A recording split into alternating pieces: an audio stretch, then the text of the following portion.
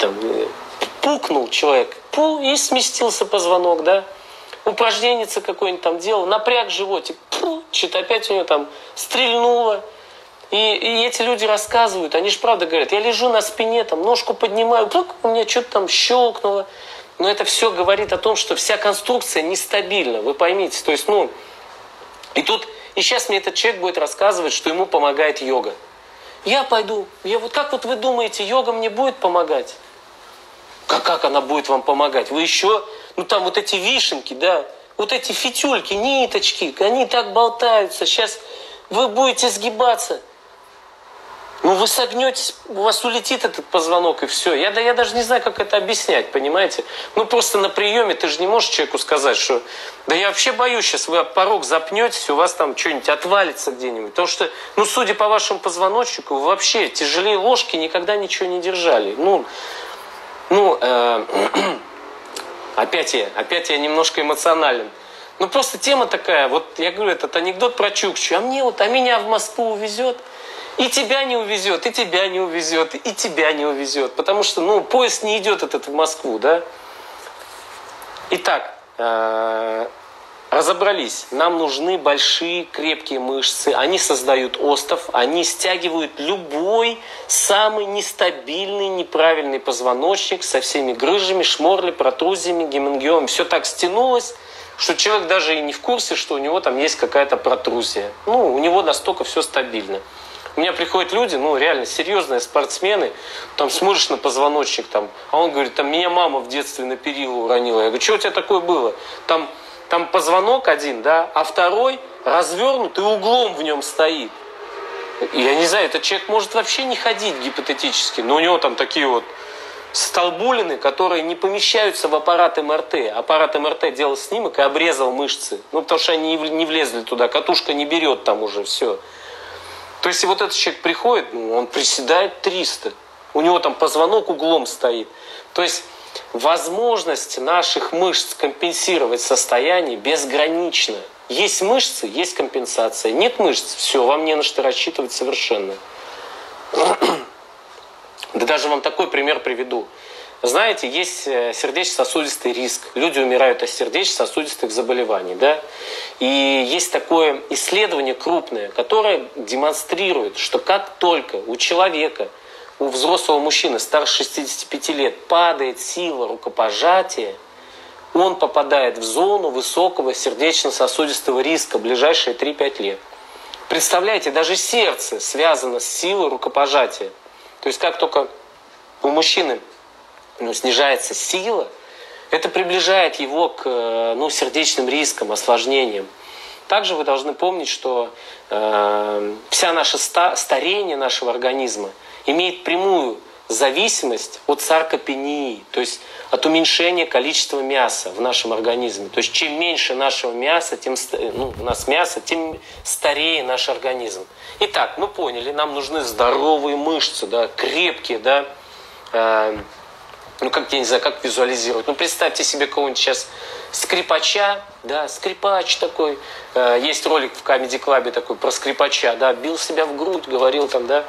И вот такой скрипач, у него там мышцы нет, он тоненький бицепс такой, да, или там вот, допустим, там, не знаю, там у меня, да, там бицепс, да, и нам обоим дали ящик помидор, да, там донести, или багажник загрузить, там ребенка посадить в детское кресло.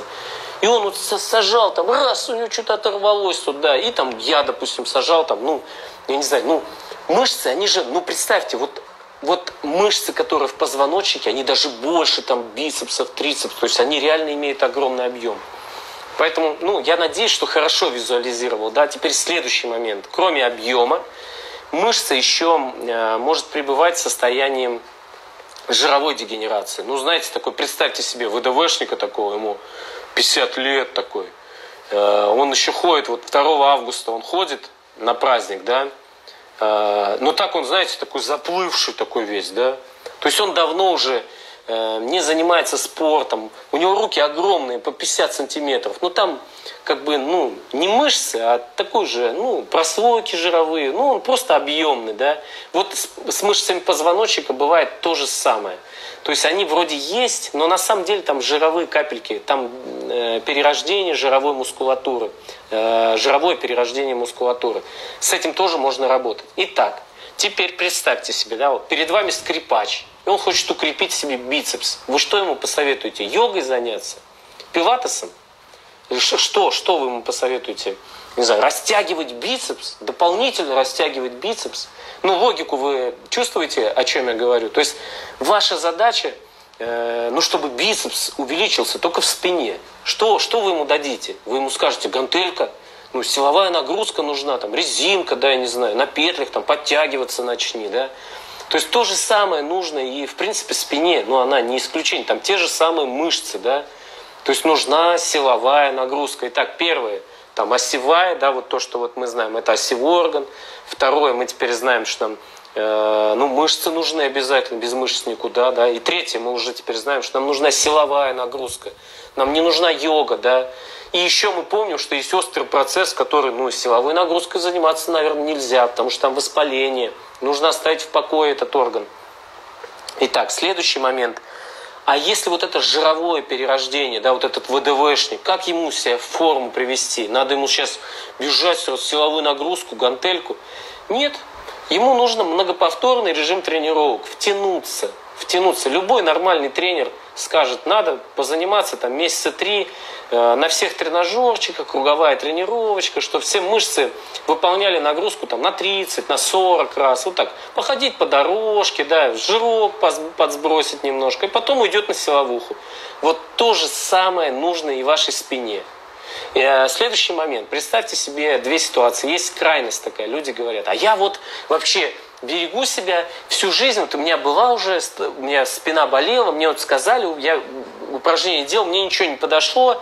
Я забил и вообще теперь аккуратно живу.